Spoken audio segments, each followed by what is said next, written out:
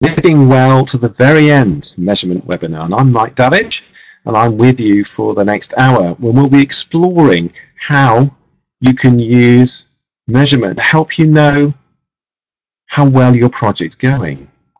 During the, uh, the webinar, there are three points when I'm going to invite you to pause the recording and discuss a simple task with your colleagues. So when we get to that point, please please do so, and the slide will indicate roughly how long I'm expecting you to, to spend, and then when you're ready, you can press play again, and the recording will continue. So, what have we got in store? Well, the first thing I'd like to say is that every system, including the one that you're working with right now, is perfectly designed to achieve exactly the results it gets. That's according to Dr. Paul Batalden, and that's my experience too. Uh, where I work, we refer to this uh, colloquially as the, the first law of improvement. It, it isn't necessarily, but it's so important to recognize that if you don't like the outcomes that your current service is giving you, you're going to have to think about redesigning it.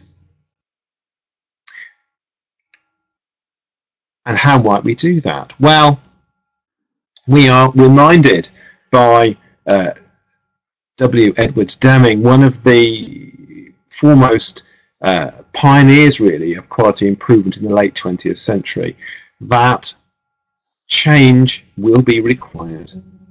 And there's a process of change, just as there is for lots of other things. And it's how to change that's the particular problem. And we use a very simple framework for this. And here it is now appearing on the slide. It's three questions and a little graphic at the bottom underneath those questions.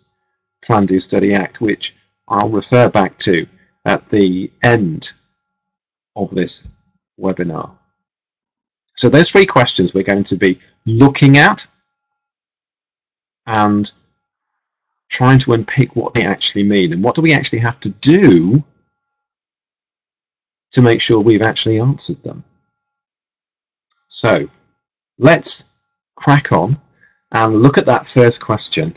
What are we trying to accomplish. And I, I call this perfecting your aim because what we're really trying to do here is take the problem that you want to solve and switch it round and say, well, we've got this problem, but what if we'd solve the problem? What would good look like? And the, the people that gave us this quite simple model for improvement of three questions and the plan, do, study, act cycle, they came up with some ideas about what might be in that aim statement. Because I'm going to get you in a while to try and write yours down. So what might be in it? They would say that features of a good aim statement include what you're wanting to work on is worthwhile. Well, worthwhile for whom? Worthwhile clearly for your patients and users of your service. But it's also good if it aligns with what you as an organization are wanting to achieve too. The next bullet point in the list says outcome focused. And we're going to talk about that a little bit more in a moment. What you aim to achieve needs to be measurable, and again, we will spend some time looking at that, and then it needs to be clear and specific. So a very clear boundary around what it is you're trying to improve. This is not about trying to eradicate world poverty. And some of the aim statements, I've seen at least the early versions of them, perhaps not quite that extreme, but are certainly far too broad and too vague. So be clear about the patient group maybe that you're thinking about working with. Be clear about what timescales you're working to and be clear in the use of your language. So what shouldn't be in that aim statement? Well, here's an example of what should not be in. And it's the clue is in that little two-letter word by. What we're interested to know is we want to reduce the number of complaints. But notice that they haven't stopped there. They've included something else by giving our staff customer care training. So the natural question to ask would be, why have they put that in? Well, we've got to assume that they've done their the work understanding why people are complaining and have come to the conclusion that staff need training, in this case, customer care training. Well, we'll assume that that's right. But even if customer care training is worthwhile and certainly perhaps part of a solution, is that by itself, the training that is, going to get them where they want to be?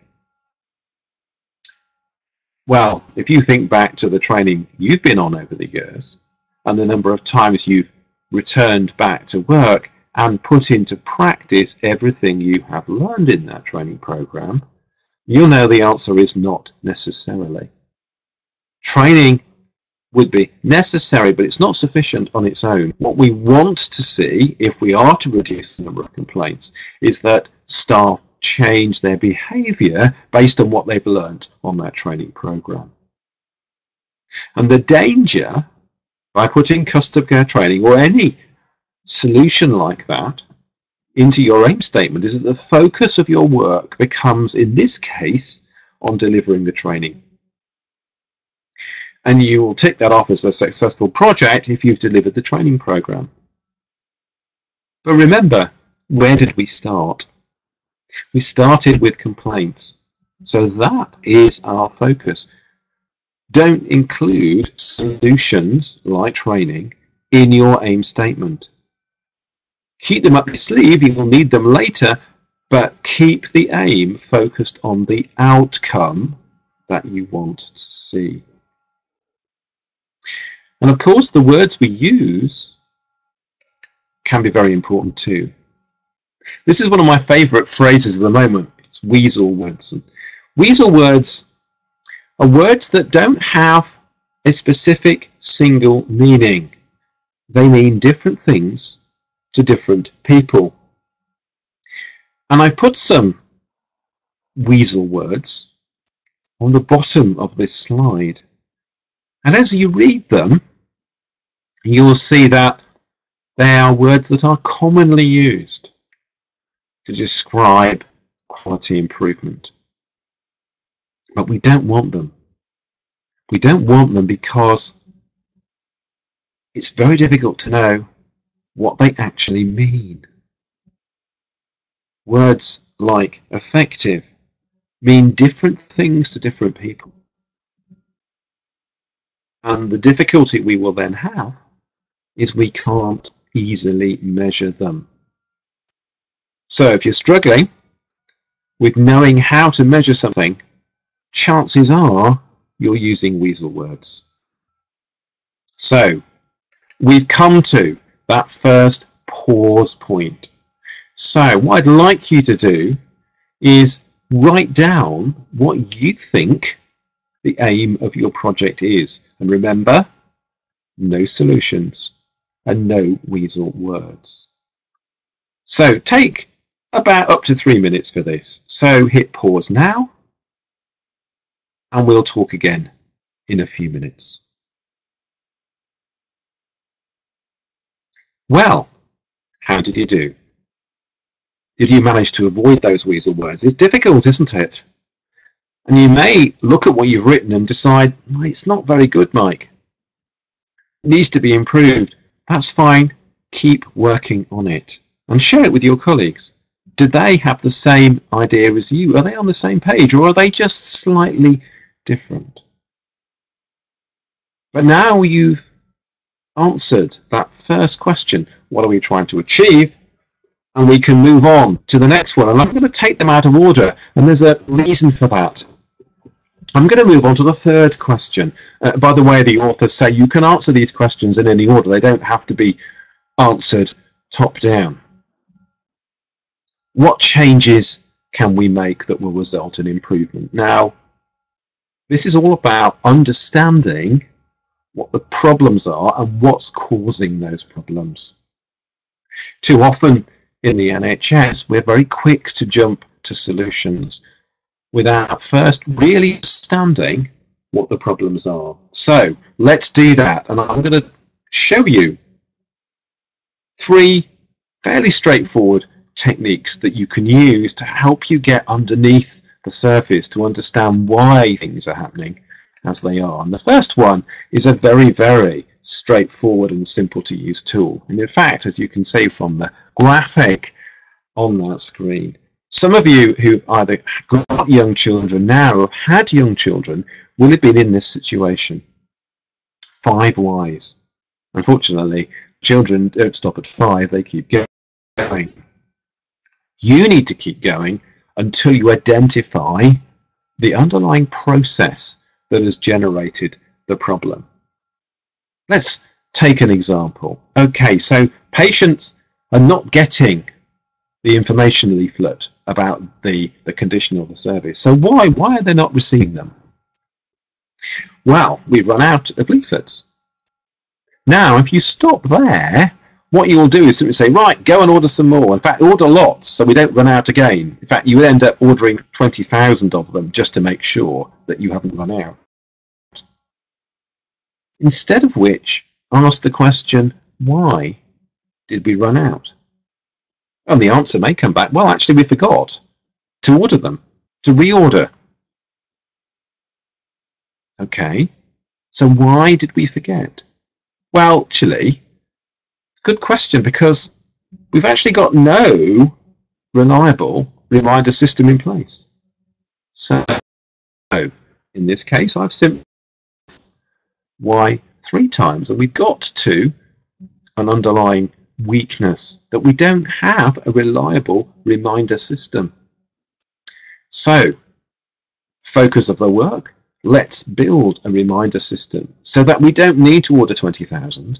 We order just enough, but we do it on a reliable basis. So that's five whys. It's very simple, very easy to use. It doesn't take you very long. It doesn't take me a couple of minutes to do that. Might take you a little bit longer in a real situation, but it doesn't take long to get to where you need to. Let's take a slightly more complex example, but it's not that much more difficult to use. This is when you've got some data. And you've got some data about the reasons why things are not happening. The example on the graph there talks about issues raised for patients being discharged from the inpatient bed. And all the staff have done in their daily meetings is captured the reasons why patients were delayed. And they plotted them on a bar chart. The bar chart is ordered the most frequently occurring reason on the left, and then it goes in descending order across to the right. Those are the blue bars you can see. The line you can see here is a cumulative percentage of all of those. And that's used to help us understand if we tackled this many reasons, the first three bars, for example, that would get us to 50% of the, of the issues that we, we are finding over this period. So just tackling three reasons gets us 50% of the delays. And that's why we use it. We're using it to display the number of times distinct things happen. In this case, uh, issues raised for discharge, but it could be reasons why patients fall, why they don't turn up, and so on. Or it could be the reasons why patients complain. And you're using this to help you understand where do we need to start working. Which of these reasons should we start with first? And you naturally, your eye gets drawn to the left-hand side of that diagram and you might say, right, let's tackle one of those. So that's Pareto, and it's called Pareto after the 80-20 rule. 80% of your issues will be due to 20% of the problems. And finally, we'll come to something I'm sure many of you have had a go at, which is process mapping. Mapping out the steps in the process as it currently happens. And ideally created by the people who operate that and interact with that process. The people who do the work know the work best. So you can certainly do that with your staff, with your colleagues, but you can also use your patient and carers perhaps to help you understand what it's like from their perspective. You're adding into the what actually happens to how do they feel at that stage. Now you can see that particular graphic on the screen has got different post-its in different colors and in particular the, the pink ones there are used to to, to highlight issues and the, the, the post-it is put at the point in the pathway at the process where that issue occurs and you can see right at the beginning on the left hand side of that graphic there's a, a half a dozen pink post-its at one stage right early on clearly indicating there's a lot of issues at the start of that particular process. So we've looked at, at that, the classic process map, but of course there are other ways of mapping out what actually happens. And some of you are already doing this, I know, walking the patient's journey. You get a sense of the distance and of the, uh, the ease with which you can navigate your way around. You can take that one stage further and actually shadow a patient. Now you're seeing the interaction of the patient with the staff along the way. You're seeing at what point do they get confused, they might get lost, and so on and so on. Obviously, if you're shadowing the patient, it's good to get their permission. Otherwise, you could be said to be stalking. And finally, there's a, another way in which you can understand what's going on with the pathway, this is particularly useful if you've got pathways that are very long, that take several days or weeks, or maybe cover a distance that you can't actually physically walk very easily. And that is to use the files and paper records to create uh, a little Gantt chart here. Uh, this Gantt chart has days across the top of the uh, table and then what was actually happening to the patient down the rows. Each row represents something new that was actually done. And it's color coded. So the value added steps, the things that the patient actually would value having done for them are in green. There are some things that we need to do that are necessary, but the patient might not necessarily think that would help them. But in fact, we have to do it for all sorts of medico-legal reasons, and they're in uh, orange or yellow. And then the red, which there is quite a lot here, is when nothing was actually happening at all for that patient. And there's a lot of red on that diagram. And you could go through that process and say, at what point do we have issues with delays and so on. So, a number of ways in which you can understand how the work gets done. So now we come to uh, another of those pause points. And I want you to think about whether you know what is causing the issues you've uncovered so far. Do you think you've got the full picture? Again, take no more than three minutes of this and talk about that. And maybe think about what you might need to go and do next. Okay, hit pause and I'll speak to you again in a few moments.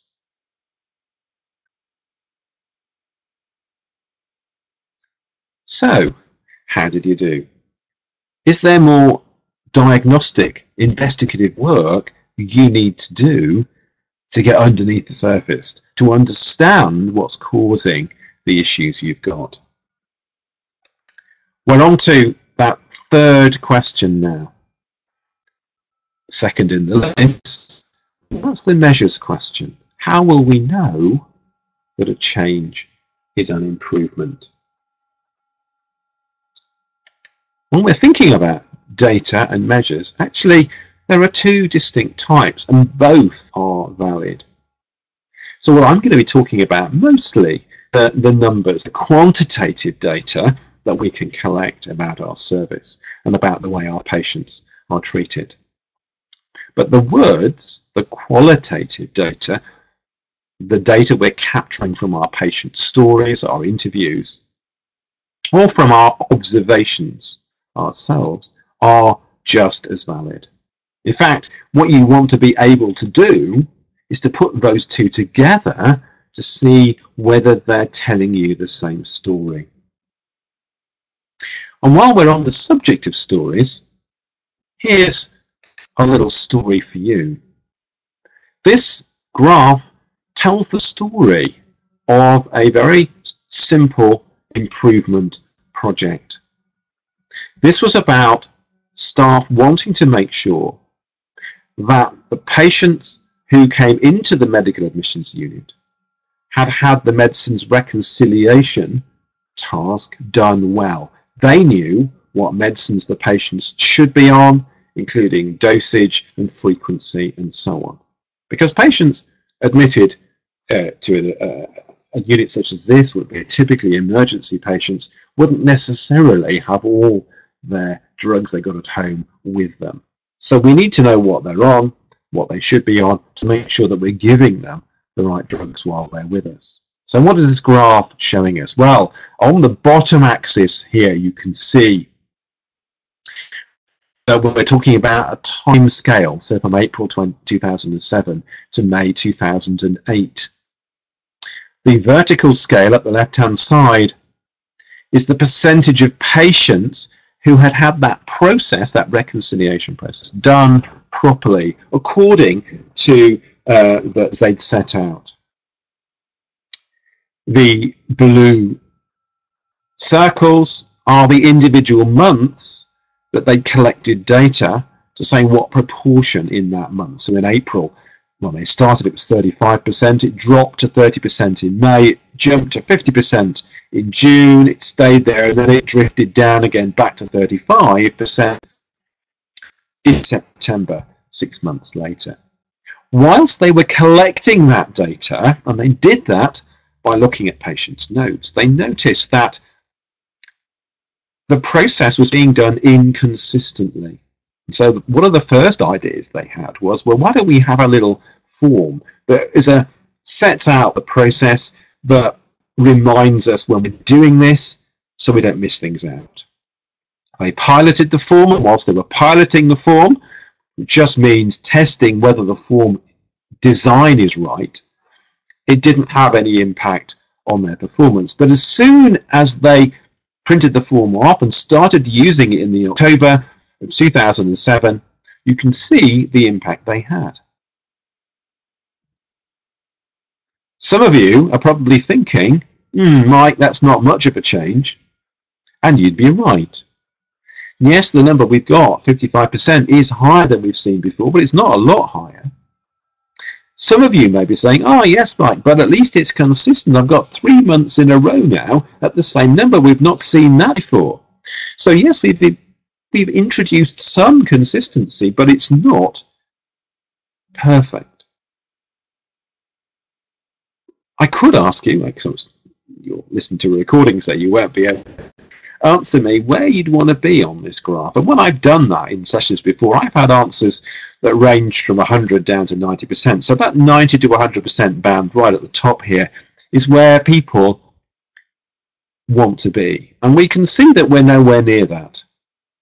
So the team used the data.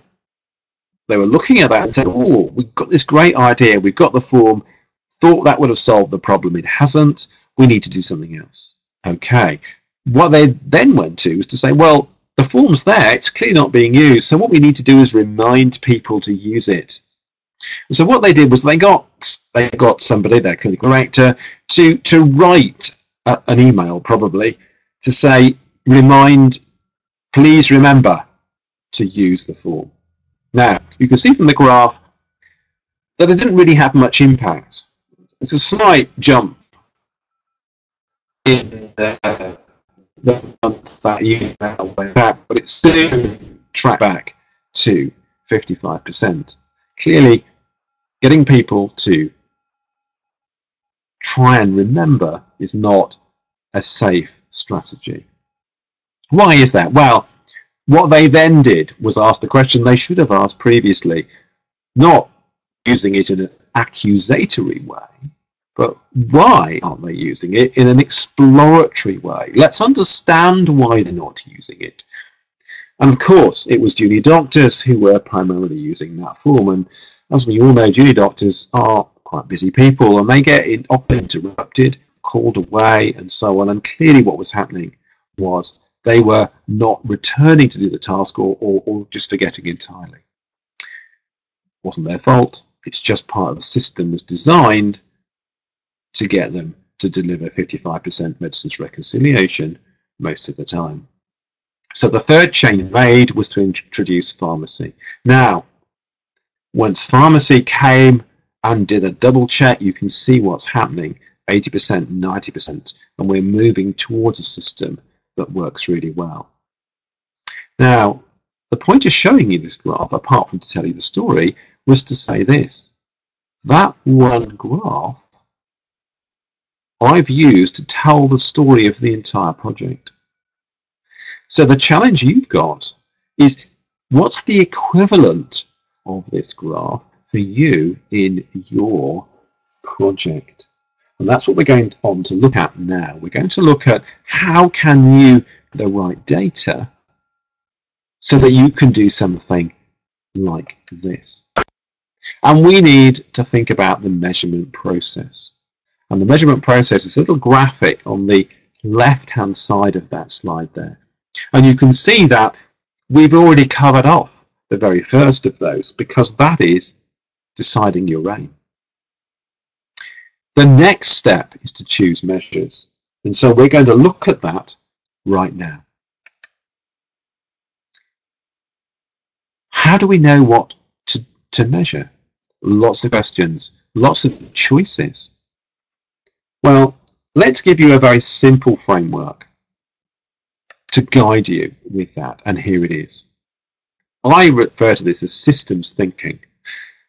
It actually comes from a, uh, a paper and, and subsequently several books by an American physician, Dr. Donabedian, and you can see from the date that this is quite a long time ago. But he said basically, if you want a, an outcome effect on the customer, you have to work back. It's about the process that takes place, the care plans, the protocols. And doing those requires some inputs, staff time, resources. Notice that it's not input straight to outcome. It's input through the process, through what we do that leads to the outcome. So it's both having resource and what that resource actually does that gets us the outcome we want. And when we're thinking about that, then we can start to think about the types of measure. Outcome measures show the impact on the patient. And we have expressed our aim statement and outcome. And so you're measuring directly your aim there, it'll be an outcome measure. But remember those changes. The changes I said you had to keep up your sleeve. Well, this is where we need them now what we will be doing is trying to improve the process. I talked about reliable reminders for reordering patient leaflets. But lots of other processes that we, we do every day. How well do we do them? Hand hygiene uh, is another one. And what we need then is a measure to say how good are we or how bad are we at doing what we say we should do. The final measure here is the balancing measure. And that's there because whenever we make a change, we're hoping it's going to have a positive impact on the area we're working on. But sometimes those changes if we haven't done our work, homework right, has unintended consequences elsewhere. Uh, one of the favourite examples is is uh, a project that was trying to uh, reduce length of stay in hospital. There, they they were quite pleased that they were actually discharging people more quickly. But what might be an unintended consequence of discharging people too quickly? I pause there for you to think, and I'm guessing some of you were saying, well, they might just come back again. Yes, missions are a problem. We don't didn't intend to bring them back again. We actually thought we were discharging them for good. But if we don't do it in the right way, we don't tell community services they're coming. We actually discharge them too early in terms of their uh, recovery then they will simply bounce back. And so the readmission rate would be a measure here for a length of stay type project. We don't want, we're not expecting readmissions to go down, but we don't want them to go up. If they go up, it's an indication that we've not done our work properly and there is more still to do. Some of you are using driver diagrams. And for those of you who are, the outcome measures will focus largely on the left-hand side of your driver diagram, the aim and the primary driver. And your process measures will be a will be pretty much centered around the right-hand side of your diagram, around the changes that you are making. If you're not using driver diagrams, don't worry about that. But for those of you who are, which of your drivers and changes are you going to measure? You don't have to measure everything. You can't, obviously, sometimes measure everything. Which ones are you going to measure? Having thought about what we're measuring, tricky issue of defining what it is we're going to collect in terms of data. We need an operational definition. Very simple description steps to follow. That is absolutely essential. If you do these two steps, you will get poor quality data. And that's a prediction. It's based on my experience. That is what you'll have. And you'll have wasted your time collecting data you cannot use. So don't be there. Do think about this. I haven't got time now to, to get you to do this, but way, how might you define a fall? Well, a fall is until you start to try and think, well, actually, is that or isn't it? I asked uh, several groups recently to do quite similar, but they're really struggling to actually get at what do we mean by a fall? To move from a higher to a lower level, typically rapidly and without control, was what one group came up with. And the second group said, actually, it's not just about it, it's about unintentionally moving from a higher to a lower level, which may result in harm. And so they've introduced this idea of harm. So fall for them may result in harm. Whereas the, the, the first group were just thinking about the, the, the physical action. And here are some questions if you are going down this particular uh, task to actually try and define what a fall is. Does it have to be witnessed to count as a fall? And what about if you see patients about to fall or in the process of falling and catch them and lower them to the ground? Does that count or not? Many of you will have uh, incident reporting which talks about slips, trips and falls. Well, is there a difference? Are they the same or are they three very distinctive things? And all the same. Why have we got three words? No more time to think about that now, but you really need to spend some time working that out. But keep it simple. Don't try and overcomplicate it, but do come up with a definition for all the measures you're going to use. And then collecting your data. You will need some a plan actually to test whether you're getting the data, pay data about every patient, or you sampling in that medicine reconciliation example, they were sampling 20 patients a month. That's perfectly okay. You can see that they got to where they needed to get to just by taking 20 patients every month. Who's collecting it? Do they know what they collected? Do they know why they are collecting that data? When is it obtained? Is it real time or is it after the event? Retrospective time is much, much, much better.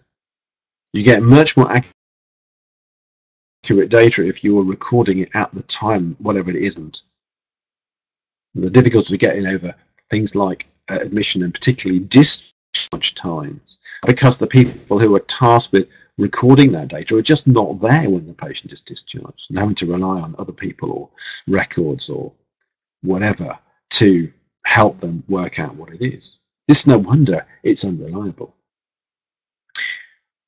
If you're thinking about data that's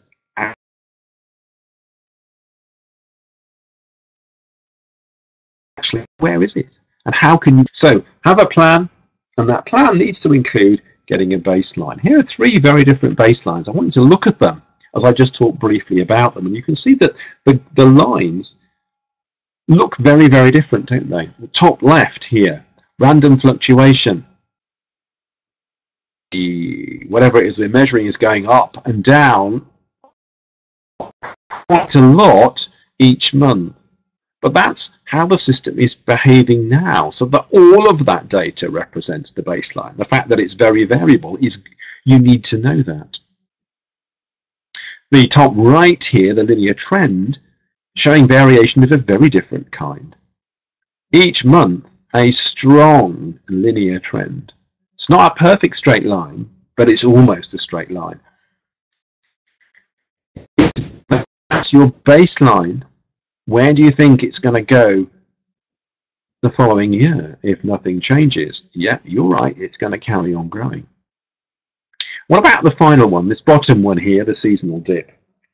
Some of our data contains that seasonality. Our performance year, it's another, and that is predictable. You need to know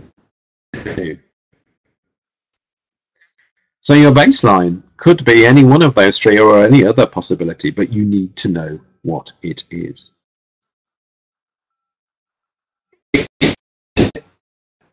Three of these cases, one month, what that practice is doing. You need more than that. And if you're thinking about patient experience stage, obviously there are a number of ways you can do that. You can interview, you can survey, questionnaire people, and you can obviously go and track patients. That's collecting data too. So our pause points is here. And here's the question for you to think about and take two or three minutes on this. What outcome measure is related to your aim? And what process linked to those? These were based on your potential changes also. The first type of chart we've come across already, and that's the Pareto chart. Use this to record the number of times distinct things happen, such as reasons that patients are cancelled, and so on. The next type of graph you will use, you will use to help you, um, again, as a bar chart, but this time you're using it to feed back the results of survey data. So here you can see on the graph that we've got a statement and what we've asked, uh, in this case, staff to respond to was how, with that statement, are they strongly disagreeing, disagreeing, agreeing, or strongly agreeing? And you can see there's a neutral option too, uh, and you can see that those are the responses. Now, if you simply average those responses, uh, scoring a strongly disagree with a 1 and a strongly agree with a 5, you'd end with, a, with an average of 4, 4 out of 5, which on the face of it sounds quite good, but you can see from the graph that that doesn't do justice to the responses you received. So it's always good when you get your survey results and you've got a, a scale like that from strongly disagree to agree or strongly positive to strongly negative or any other words. Plot them out on a bar graph like this to see what the spread looks like. do it question by question. And sometimes you will also have the raw data and you can do it for each respondent. You won't know who they are. Often it's anonymous but if you can do it respondent by respondent as well, that tells you whether a particular respondent is very, very happy or very, very unhappy, or maybe they're just in the middle all the time. So that's a very useful way of looking at your survey results. But then, of course, we're looking now, finally, for how do you look at data over time? And the way to do that is to use a time series chart, like the one we showed in the medicines reconciliation example, but this time this chart has an extra line on it. Can see this red line, horizontal red line running right across the middle of the graph. And that is the median because this is a run chart. So what do run charts look like? Well, they look just like this. We are plotting our data, in this case the little white diamond shapes are each month's data over time. And we're plotting the median, the middle value, as a, as a line, in this case a dotted line, it doesn't have to be a dotted line, on your graph. So, so that's the typical value. And then we're analysing the chart by studying how the values fall around that median. So, what might we look for in terms of impact? Well, before we go there, a couple of things. Run chart, does it look familiar? I suspect for those with the clinical background, it certainly will, and we use these uh, in, in this case uh, often with patient observations to give us an idea about what's going on. The other thing to think about is that things vary over time just as they do with a person's normal body temperature. And here you can see a little table uh, that's in Fahrenheit, so that tells you it's an American table, where the body temperature is expressed as a range notice, irrespective of how old the patient is or where the temperature is measured, it's always a range, the normal range. And so what we want to know with our data for that particular process we're looking at, is it behaving normally or is it not? And particularly when we're introducing a change, which we hope will be an improvement, we're wanting to jolt that typical performance out of normality and make it look different. And the key way we can do that is to separate out the signals, the improvement that we hope to have made from the noise, the normal way that that process behaves up and down over time. To separate them, we need a particular way of doing that, and run charts help us because what the run chart does is say, look, if you get six points in a row above that median line, that center line, or below it, six or more, then that's an indication that you've got a shift in that process. Something has caused that process to change its normal behavior. That red line in both cases, the median, does not represent now what that process is doing. And if that happened at about the time you made your change, well, that's as good as it gets in terms of saying we made the change here and look what happened as a result.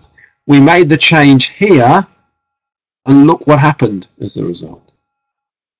So, some of you may quite naturally be asking, why six? Well, toss a coin, what's the chance of getting a head? And many of you will say 50-50, and you'd be right.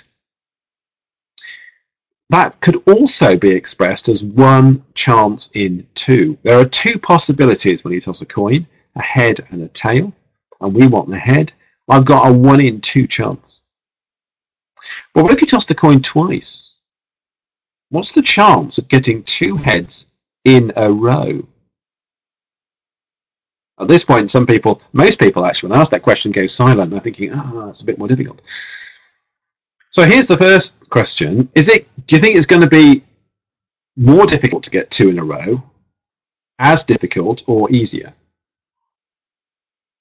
Yep, it's more difficult. It's twice as difficult, actually. You've got one chance in four of getting two heads in a row. And I'll let you, if you're interested, thinking what the other three possibilities are. Well, let's roll that forward. What about six? Well, that's like tossing a coin six times and getting six head in a row. What's the chance of that? Pretty slim.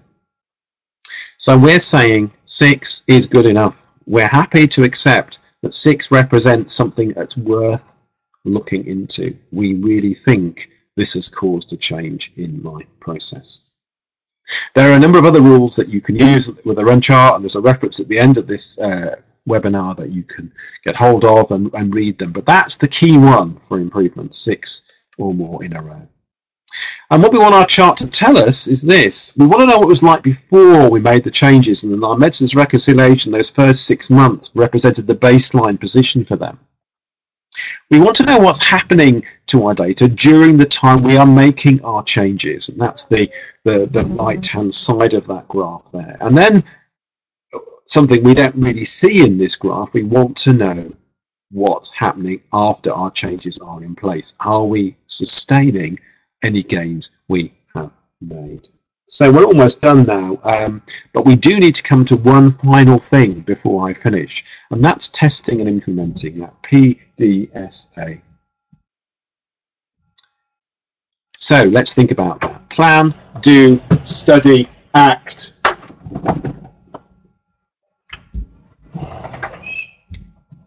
Plan what to do and predict the effect carry out, that's the plan bit. Do is carry out the plan as documented. So when you're doing, you've got to do the plan, which may sound obvious. You can't deviate. And then you study. Compare what actually happened with what you thought would happen. And then act accordingly. Do we need to adopt this? It works so well, it's going to work. Do we need to abandon it? So rubbish that we're going to have to start again. Or actually, and this is the most common option, adapt. We change it slightly, we tweak it, and try it again. So, how big a test are we talking about when we say we plan to do something and carry out the plan? Well, the test is very small to start off with. We're talking one patient. The smallest test you can do to start with, but don't stop there. If it works well for one, try it with a few more and a few more until you hit a problem. Then go, you keep going around the cycle. You get to act and you say, Do I need to adapt it? Yes, I do, because it doesn't work now. It worked fine at the weekdays, it doesn't work so well at weekends. Or it worked fine on the day shift, it doesn't work on the night shift. Or it worked fine for this group of patients, it doesn't work quite so well for that group of patients. And you keep going. And as you test, you learn and you adapt, increasing your degree of belief and others that this change will work. Remember, there are people who are working with you who don't have your degree of enthusiasm about change, about this change working at all. You're testing ideas under different conditions. You're reducing resistance. You're asking people to try something, perhaps once, rather than this is the way it's going to be. And it is actually quicker to implement because you get to the issues and you get to, to, to adapt against those issues much earlier in the process. So, next steps is go back to your aim. Does it describe an outcome or not a solution? Are you using plain English? No weasel words. What about a target, a goal that you want to achieve? Is that there? Your diagnosis? Do we understand enough to suggest some sensible changes? What diagnostic tools can we use? And I've given you three today, five whys, Pareto, and process mapping. And have we got a reasonable driver diagram? or a, a reasonable theory about how our system works. Once we've done that, it's down to measures. There's a lot to think about there. So here's a another slide which takes you through those six, seven steps. Clear on the aim? Have you chosen the most appropriate measures for that aim and for the solutions that you intend to use? Can you describe them simply enough so that everybody understands what we are talking about? Remember, what's a for? And are you sure you can get the data? How do you know? Have you tested it? What chart are you going to use to display your data? You've got a choice of two here, bar charts and line charts. I've made it simple for you. Who will be using them? That's step six, which we haven't really talked about today. Who will be using them to make your decisions? And finally, some references. There's a book behind the model called The Improvement Guide. There's more, a little bit more. It's a 10 minute video on YouTube about seven steps to measurement. So you can try that as a little refresher. And there's a basic uh, reference for the run chart in the BMJ Quality and Safety by Perla, Provost and Murray. That's it from me. I hope you've uh, enjoyed listening and interacting with this webinar and I wish you every success with your improvement.